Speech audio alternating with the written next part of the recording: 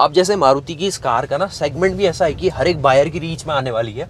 लगभग 11 लाख के सेगमेंट से लेके ये गाड़ी आपको 20 लाख के सेगमेंट को टच कर रही है तो सारे तरीके के कस्टमर इसको रहेंगे।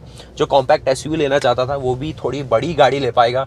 उसी के साथ जो ज़्यादा प्रीमियम गाड़ी में नहीं जाना चाहता था, उसका माइलेज से डर रहा था या फिर स्पेयर पार्ट या फिर जो रिलायबिलिटी फ्रंट है तो वो सोचेगा कि क्यों ना ग्रैंड विटारा जो आपकी ऑटोमेटिक है या फिर जो इनकी हाइब्रिड है, उसको भी चांस दिया जाए।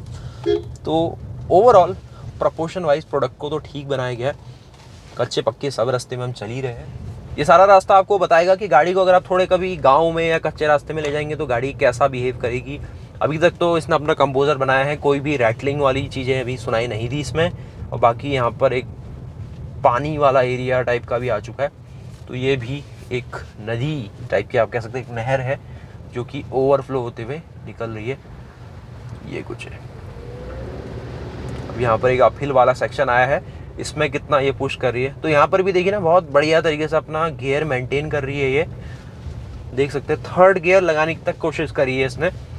थाउज़ेंड आरपीएम तक ला देता है इंजन। इसको मतलब इसको ज़्यादा प्रायोरिटाइज भी किया गया कि फ्यूल इकोनॉमी अच्छी दे।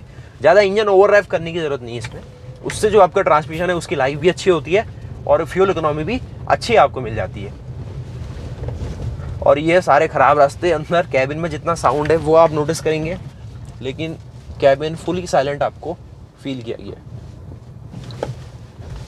अब ये इसका ऑटोमेटिक वेरिएंट आप चला रहे हैं। इसके बाद हम इसका मैनुअल और जो ऑल ग्रिप है, उनको भी एक्सपीरियंस करेंगे।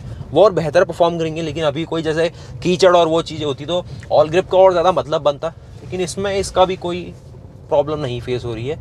और झटकों को ना बड़े आराम से ये हैंडल कर ले रही है। एक तरीके से हम घुसे तो नॉर्मल थे, लेकिन यहाँ पे भी अच्छा खासा एक ऑफ़ रोड पैच टाइप का हो गया है। कच्चे में भी डालोगे तो कोई शिकायत नहीं है।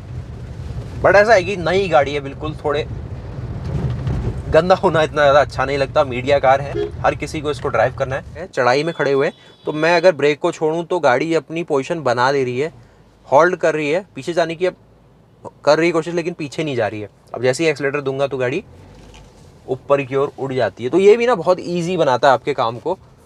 तो ऊपर आपको आना है तो इतना एक्सलेटर आप देंगे। और गाड़ी जो अपनी लाइन ऑफ़ पाथ है उसमें चलते हुए। शहरों में चलाना बहुत इजी लगेगा आपको इसमें। अब जो मज़ा आपको इसकी मैनुअल में आएगा, वो ऑटोमेटिक में ज़रूर आपको ड्राइव ज़्यादा जाते हुए दिखेंगे। बट उसके लिए फिर ऑप्शन है आपके पास कि आप इसको फिर से मैनुअल मोड में लाइए। और आप अपना जो ड्राइव है उसको इन्जॉय कर सकते हैं। तो ओवरऑल देखा जाए तो पैकेज वाइज ठीक बनाया गया इसे। अगर इसमें कुछ नेगेटिव्स की बात की जाए तो नेगेटिव सेंस में ऐसा कोई बड़ा नेगेटिव सामने नहीं आया है और मोस्टली मारुति की कार्स में बहुत कम चांस होते हैं कि कुछ आप सेगमेंट वाइज देखा जाए तो नेगेटिव आपको मिले। क्योंकि मेन चीज़ इंजन आपके सामने होता है, वो रिलायबिलिटी वाइज तो ट्राइड एंड टेस्टेड है और इस गाड़ी की परफॉर्मेंस को भी बिल्कुल मैच कर रहा है, जो परफॉर्मेंस आपको चाहिए। अब जिन्हें टर्बो पेट्रोल का इंतज़ार था कि ओवर बूस्ट कुछ परफॉर्मेंस उसे दी जाए तो वो शायद अभी नहीं आई है।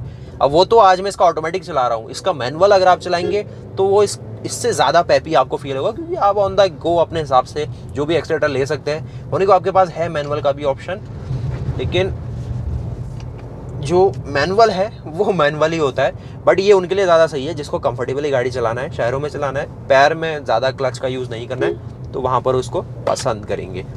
तो यही कुछ है अपना वर्डिक्ट कि आप एक ऑटोमेटिक कार चाहते थे, जो कि एक रिलायबल ब्रांड के थ्रू आए। तो आप इसको ले सकते हैं ज़रूर। और आपकी क्या राय है इस गाड़ी के ऊपर, वो भी बताइए। सेफ्टी सेंस में देखा जाए तो ग्लोबल एनकैप ने अभी नहीं नई ब्रेजा या फिर ग्रैंड विटारा किसी को भी टेस्ट अभी तक नहीं किया है। बट फिर भी जिस हिसाब से मटेरियल का यूज़ किया गया, वो आपको तो उससे इतनी श्योरिटी तो है कि इसमें सुजुकी ने कुछ ना कुछ अच्छा ही यूज़ करा है।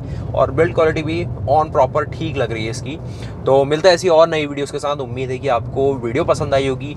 सब कुछ अपना एक वर्डिक्ट मैंने आपको दिया है कि किस हिसाब से गाड़ी का पैकेज आपके सामने लाया गया है।